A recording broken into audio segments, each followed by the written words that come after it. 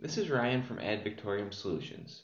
I'm going to go over how to favorite a list view and add that new favorited list view to your navigation bar for one-click access. Today we want to favorite our Platinum and Gold SLA customer account list views. To do that, we're going to click on our Accounts tab.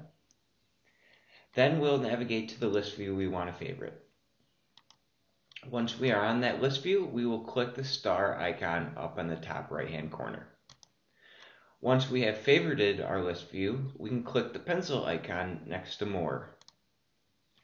From here, we'll click on Add More Items and choose that new favorited list view. I'll click on Add One Nav Item, and now we can rearrange this to where we want it to show up within our navigation bar.